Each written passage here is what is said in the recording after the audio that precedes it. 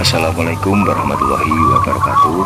Uh, di sini saya akan uh, meliput acara di uh, lomba burung perkutut lokal di acara HUT ulang tahun ngoper.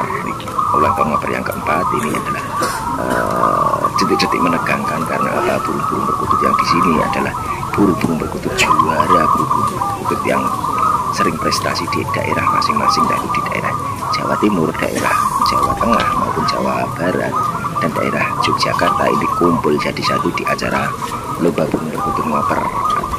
Nah, di sini uh, di Demak di sini adalah cuaca itu sangat uh, ekstrim, sangat panas banget, sangat panas dan disertai dengan angin yang sangat kencang.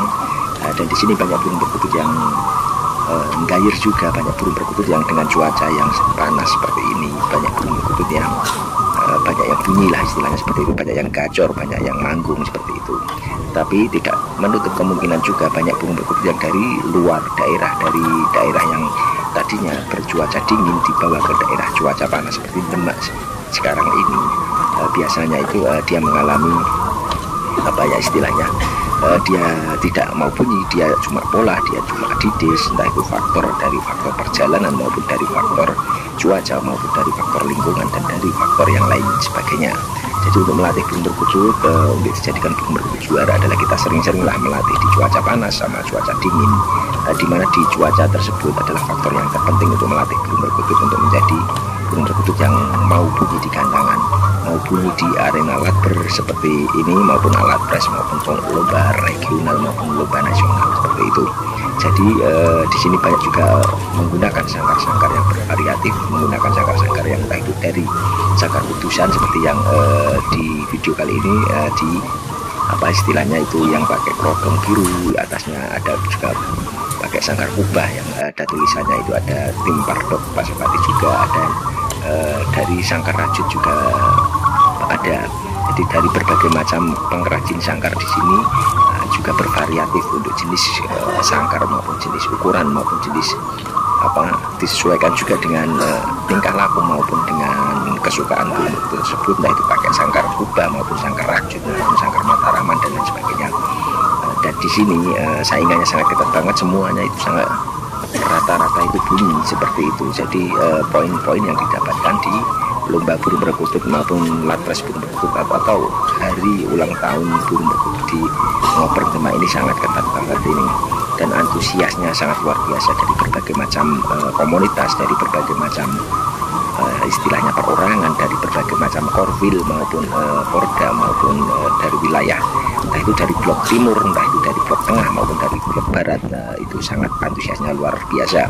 Dan banyak juga tadi saya uh, keliling lapangan banyak juga yang berdatangan dari Jawa Barat juga ada dari Jawa Timur juga ada dari Tuban uh, Bojonegoro Trenggalek juga ada dari Kediri juga ada dan ada juga dari tadi dari Jawa Tengah juga banyak banget dari Boyolali dari Salatiga dari Ungaran dari Kendal dari Tegal dan lain sebagainya dari Brebes dan lain sebagainya dan dari Jogja sendiri juga ada dari uh, komunitas PLM juga ada dari komunitas uh, dari Gunung Kidul juga ada dari Korwil Gunung Kidul, Kidul juga ada. Jadi uh, kuyup rukunya di acara lomba ngoper Demak ini sangat luar biasa. Jadi uh, di tahun 2022 ini uh, booming perkutut uh, lokal itu uh, sangat luar biasa. Jadi dari pelosok desa maupun dari sampai ke kota itu uh, semuanya itu uh, berlomba-lomba untuk mencari burung perkutut prestasi maupun berlomba-lomba untuk mencari burung perkutut yang uh, angkungan yang gayer dan angkungan yang mempunyai mental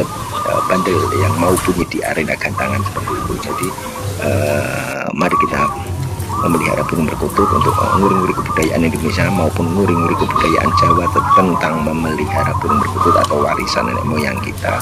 Tentang memelihara burung perkutut lokal seperti itu. Jadi uh, seperti simbah-simbah kita terlebih dahulu telah merawat telah um, memberi makan burung perkutut dan telah menjadi filosofis tersendiri uh, burung perkutut di tanah Jawa ini khususnya untuk Indonesia uh, yang kita kenalkan ke dunia luas atau ke dunia mancanegara entah itu kita kenalkan ke uh, daerah Asia maupun Asia ke Eropa maupun ke benua-benua yang lainnya jadi uh, perkutut lokal dari Indonesia memang mempunyai anggungan yang sangat merdu anggungan yang sangat menyentuh hati seperti itu jadi tidak cuma di Indonesia saja tapi itu juga di ada di berbagai macam benua seperti benua Asia, benua Eropa dan lain sebagainya. Seperti itu. Jadi di negara-negara lain ada di Australia, ada di uh, Jepang, Korea, ada juga di uh, berbagai macam ada di Malaysia, ada di, juga di Inggris, ada juga di Belanda, ada juga di uh, Jerman, Perancis dan lain sebagainya. Jadi burung perkutut itu tidak cuma di Indonesia saja seperti itu. Jadi uh, kita kenalkan kalau burung perkutut dari Indonesia itu burung perkutut yang sangat merdu, yang sangat indah seperti itu dan bisa kita konteskan, kita bisa uh, saling melombakan sebagai ajang silaturahmi sebagai ajang uh, mencari prestasi juga bisa itu ajang silaturahmi juga bisa ajang temu kangen antar sedulur juga bisa temu kangen antar uh, perorangan temu kangen antar apa istilahnya sahabat dan lain sebagainya seperti itu. Dan menjadi uh, tolak ukur bila mana perkutut itu prestasi kita juga bisa menjualnya atau kita bisa uh, menjualnya dengan harga yang tinggi, tinggi seperti itu. Jadi nilai ekonomisnya itu berputar seperti kita mau kita menjual sangkar juga. Nilai ekonominya juga uh, naik kita menjual obat-obatan entah itu jamu-jamuan entah itu pakan burung perkutut itu juga laris juga seperti itu. Semakin booming burung perkutut semakin uh, taraf ekonomi uh, kerakyatan di Indonesia ini juga semakin maju seperti itu.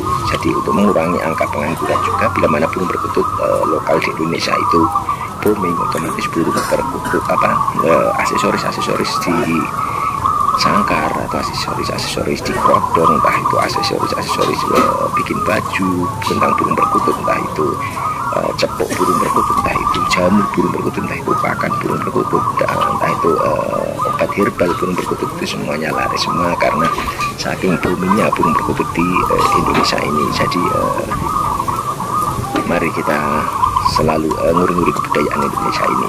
Pokoknya simak terus video saya ini uh, ini untuk apa edukasi maupun untuk uh, wawasan kita semua agar uh, nenek apa agar anak cucu kita di kelak hari itu bisa uh, bisa mendengarkan suara anggungan burung perkutut juga bisa uh, melihat burung perkutut manggung bisa melihat burung perkutut yang gayer dan lain sebagainya. Simak video saya ini uh, mana burung perkutut uh, yang menjadi juara di uh, hari ini